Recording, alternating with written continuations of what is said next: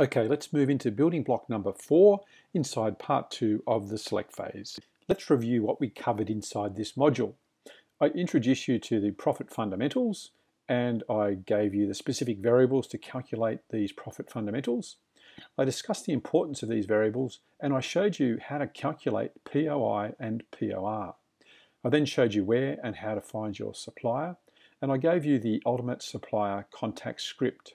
I talked about the four supplier scenarios and finally I introduce you to the PAWS. Okay, so your building block exercise for this module is to take the products that passed our competitive analysis process, locate suppliers for each of your items, and you will want to contact two to three suppliers for each product.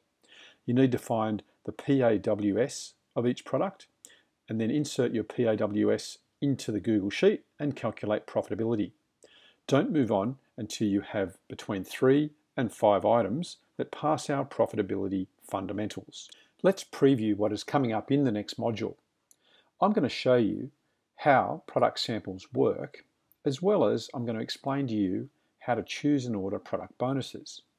We're going to look at budgeting and determining what type of investor you are. I'm going to present to you the best negotiation process and show you how to create an MPSH style brand. Then I'll explain to you the best way to create product packaging and then I'll show you how to build a product label from scratch. I will then explain inner and outer cartons and boxes, and finally I'll break down to you how to place an order.